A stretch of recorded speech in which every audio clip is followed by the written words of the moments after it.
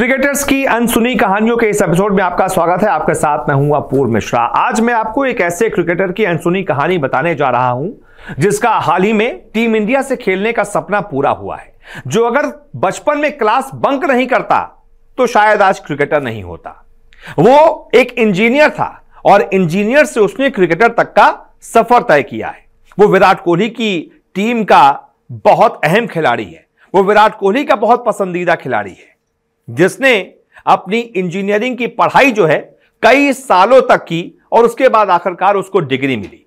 लेकिन वो engineer, cricketer कैसे बना और फिर कैसे टीम इंडिया तक का सफ़र उसने तय किया, आज इसकी कहानी आपको सुनाते हैं। क्रिकेटर का नाम है शाहबाज अहमद, जो कि विराट कोहली का रनबाज भी है।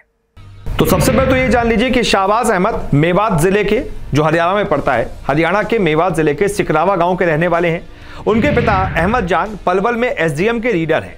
वो भी एक मध्यम वर्गीय परिवार के मुखिया की तरह चाहते थे कि उनका बेटा सिविल इंजीनियर बनकर जॉब करे और घर गृहस्थी चलाए। इसलिए वो गाँव छोड़कर हथीन में रहने लगे ताकि बच्चों को अच्छी शिक्षा मिल सके। बारहवीं करने के बाद साल 2011 में पिता अहमद ने शाहबाज का एडमिशन फरीदाबाद स्थित मानव रचना इंटरनेशनल यूनिवर्सिटी में करा दिया ताकि वो इंजीनियर बन सके।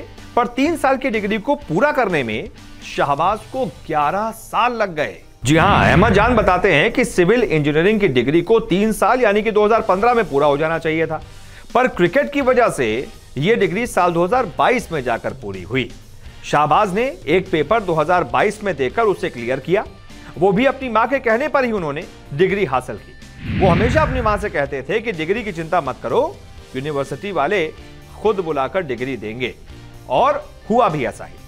पिता बताते हैं कि इस साल जनवरी में यूनिवर्सिटी ने कॉन्वोकेशन में हमें विशेष रूप से आमंत्रित किया, पर शाहबाज क्रिकेट की वजह से वहाँ नहीं पहुँच पाए, इसलिए हम उनकी डिग्री लेने पहुँचे थे। हमें वो सम्मान मिला। शायद वो क्रिकेटर नहीं बनते तो वो सम्मान नहीं मिल पाता। अब हमें उनके फैसले पर कोई अफसोस नहीं है। क्लास बंक करके जाते थे क्रिकेट खेलने। अहमद जान बताते हैं कि उन्हें नहीं पता था कि फरीदाबाद में उनके बेटे का मन इंजीनियरिंग की पढ़ाई में नहीं लग रहा था। शाहबाज क्रिकेट खेलने के लिए क्लास बंक कर जाते थे। इसकी जानकारी उन्हें तब मिली जब यूनिवर्सिटी की ओर से उनके पास मैसेज भेजा गया कि उनका बेटा क्लासेस नहीं ले रहा। क्रिकेट और पढ़ाई में क्रिकेट को चुना। अहमद जान बताते हैं कि तब उन्होंने शाहबाज से कहा कि वो पढ़ाई या क्रिकेट में से किसी एक को चुने, लेकिन जो भी चुने, उस पर फोकस करें। तब शाहबाज ने क्रिकेट को चुना और उसी पर फोकस करने की ठान ली। इसके बाद वो गुड़गांव में तिहरी स्थित क्रिकेट एकेडमी में जाने लगे। वहाँ कोच मंसूर अली ने उन्हें ट्रेनिंग दोस्त की सलाह पर बंगाल गए फिर बन गया करियर। शाहबाज के पिता ने बताया कि ग्रेजुएशन के बाद उनके दोस्त प्रमोद चंदीला उन्हें क्रिकेट खेलने के लिए बंगाल लेकर गए। चंदीला भी बंगाल में क्लब क्रिकेट खेलते थे। शाहबाज को वहाँ से घरेलू टूर्नामेंट में बेहतर प्रदर्शन करने पर बंगाल 2018-19 में रणजी टीम में जगह मिली। उसके बाद 2019-20 में उनका चयन इंडिया ए टीम में हो गया। इसके बाद 2020 आईपीएल ऑक्शन में आरसीबी ने शाहबाज को 20 लाख रुपए के बेस प्राइस में खरीद लिया। हालाँकि उन्हें यूएई में सिर्फ़ दो ही मैच खेलने का मौका मिला।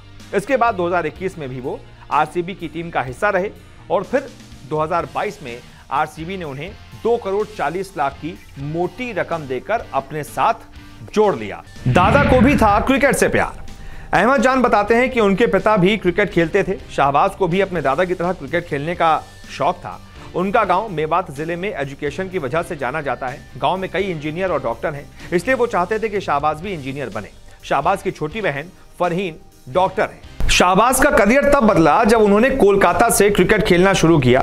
अपने एक दोस्त की सलाह पर उन्होंने कोलकाता यानी बंगाल से क्रिकेट खेलना शुरू किया।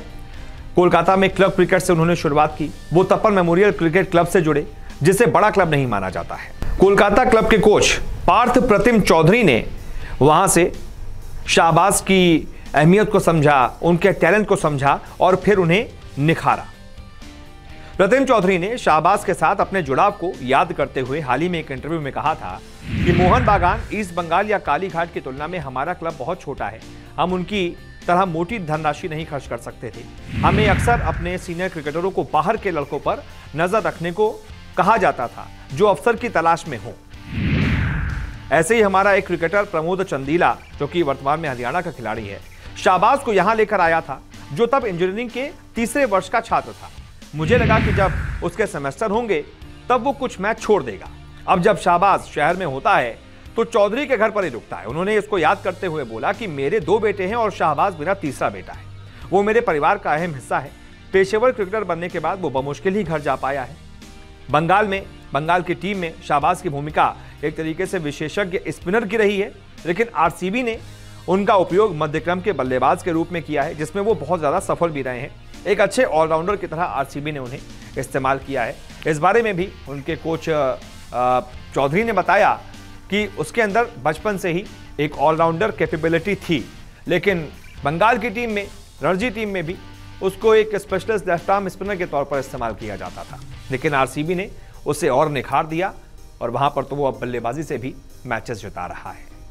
तो ये थी कहानी उस क्रिकेटर की, जो कि तीन साल की डिग्री, ग्यारह साल में पूरी कर पाया, लेकिन जैसे ही क्रिकेट में आया आया और छाया।